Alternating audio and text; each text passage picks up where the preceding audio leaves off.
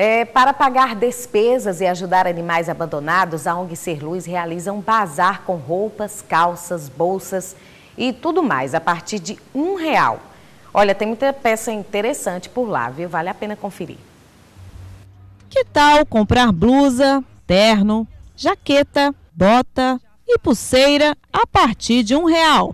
Os produtos são de segunda mão, mas o intuito é solidário, já que a ONG Ser Luz providenciou um bazar para ajudar a pagar as despesas para cuidar dos animais abandonados em Teixeira de Freitas. Essa ideia surgiu é, pela falta de recurso financeiro, né? Então, como a gente tinha poucas doações, é, a gente resolveu fazer um bazar. Inicialmente nós come começamos com esse bazar na feira livre. Colocamos uma lona no chão, né? E começamos a vender lá mesmo. Aí surgiu a ideia, né, de ter uma lojinha, porque seria mais valorizada as peças. Foi quando o empresário é, nos doou uma lojinha, né, provisoriamente, até ele precisar usar a lojinha.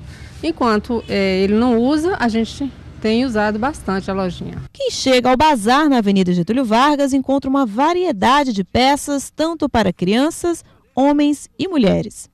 Atualmente a ONG trata de 28 cães e são várias as necessidades. Atualmente, né, no, nos dois espaços, ONG Ser Luz e Protetores Independentes, nós temos mais ou menos uns 30 cães. E esses cães, eles comem todos os dias, eles bebem todos os dias.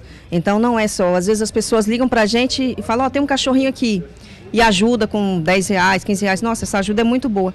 Só que assim, aquela ligação, o cachorro vai ficar com a gente, ele vai comer todos os dias. Então, assim, nós precisamos, é ração, é medicação, é, é, castração, é tudo. Você também pode contribuir para o bazar e ser um protetor de animais da ONG Ser Luz, doando roupas, calçados e acessórios em um bom estado ou até mesmo comprando essas peças por um preço bem acessível. Por exemplo, olha só, aqui já são três camisas belas por 10 reais e aqui também dá para poder encontrar duas bermudas por 10 reais. O bazar funciona às quartas-feiras e sábados, das 8 horas da manhã até o meio-dia.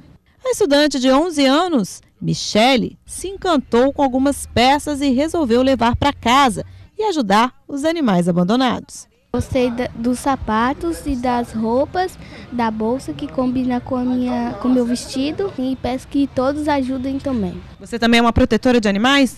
Sou.